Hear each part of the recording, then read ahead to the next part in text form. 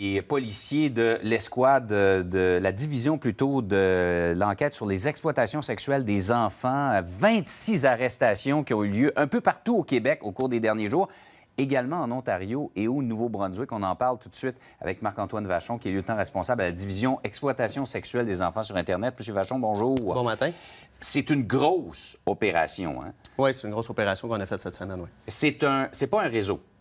C'est pas un réseau. Il n'y a rien présentement qui démontre que les personnes se connaissaient entre elles. Peut-être que l'enquête pourra le déterminer plus tard, mais présentement, il n'y a rien qui le démontre. Parlez-moi des gens que vous avez arrêtés. Euh, je sais qu'il n'y a pas de profil type, leur âge, leur emploi. Est-ce que c'est des récidivistes, tout ça? Il y a eu quelques récidivistes et euh, c'est tous des hommes. Donc, euh, au Québec, 26 hommes ont été arrêtés entre 17 et 84 ans. Donc, vous voyez, c'est n'importe quel âge. Ça touche toutes les, tranches d'âge.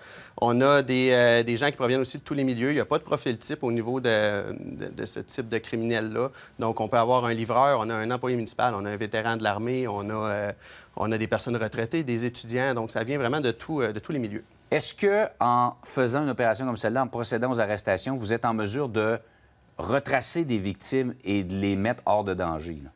Bien, dans la présente opération, il y a deux victimes qui ont été identifiées présentement. Ces victimes-là ont environ 10 ans. Elles ont été victimes de contacts sexuels, agressions sexuelles, voyeurisme. Euh, il y a certains endroits où on a, eu, on a obtenu des, euh, euh, des avoirs d'interrogatoire et aussi en rencontrant des témoins qui laissent présager qu'il y a peut-être d'autres victimes qui vont être identifiées dans le futur là, avec les enquêtes qui vont se poursuivre. Mais il faut comprendre que les victimes, évidemment, ça peut venir de partout dans le monde. Bien, exactement, parce que chacune des images qui sont possédés par ces gens-là, bien, sur ces images-là, c'est un enfant qui a été victime d'un abus sexuel à quelque part dans le monde. Ce n'est pas que je possède une image, c'est encourager les abus sexuels d'enfants. Qui dit consommation dit production, c'est vrai dans le milieu commercial, mais c'est aussi vrai dans le milieu criminel. Il faut comprendre, donc, pour ces gens-là, que derrière ces images-là, il y a des victimes. Assurément, des victimes qui ont été victimes de supplices et... Euh, d'abus sexuels. il y a des gens qui avaient accumulé une quantité absolument incroyable de fichiers. Oui, exactement. On a un endroit où c'est euh, plus de 200 000 fichiers, 208 000 fichiers environ qui ont été euh, retrouvés à l'intérieur des systèmes informatiques qui ont été analysés par les policiers. C'est presque un emploi à temps plein, ça? C'est beaucoup de fichiers. C'est rare qu'on voit ça, mais celle-là, c'était beaucoup. C'est beaucoup d'analyse, c'est beaucoup de temps pour tous les policiers qui sont impliqués là-dedans. Donc, vous avez travaillé avec euh, quoi, une quinzaine de corps de police municipaux un peu partout euh, au Québec pour mener cette opération-là, mais ça déborde des frontières euh, du Québec, notamment en Ontario et au Nouveau-Brunswick. Oui, exact. Parce que l'opération, les enquêtes ont débuté en juin. Au fur et à mesure qu'on a débuté les enquêtes, on a commencé à consulter nos partenaires du Nouveau-Brunswick et de l'Ontario pour sondé leur intérêt à participer à l'opération et ont embarqué à pieds joints là-dedans. Donc, c'est un total de 31 organisations policières qui ont participé à l'opération qui s'est déroulée du 27 au 30 novembre. Euh, c'est 470 policiers qui ont été impliqués dans ces frappes-là et qui a, euh, justement, au Québec, ceux qui sont impliqués principalement, c'est la stratégie provinciale, donc évidemment la Sûreté du Québec, aussi la police de Montréal, de Québec, de Longueuil, de Gatineau, de Laval, Ontario, même chose. Ils ont une stratégie provinciale qui implique la police provinciale de l'Ontario, mais aussi les corps de police municipaux.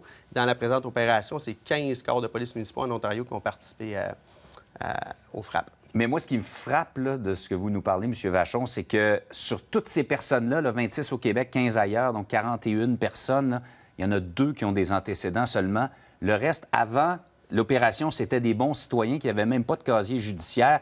Donc, ça, montre à quel point le problème est répandu. Oui, le problème est répandu. On, le voit dans, à chaque année, on, fait des frappes. À chaque année, on arrête. Cette année, on est rendu, euh, si on se fie juste au Québec, avec nos partenaires que je vous ai nommés tantôt, des corps de police municipaux, euh, c'est quelque chose comme 240 arrestations qui sont faites depuis le 1er janvier euh, en pornographie juvénile.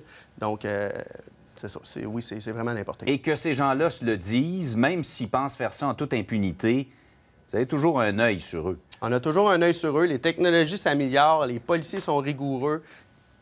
Les policiers choisissent de venir dans notre division.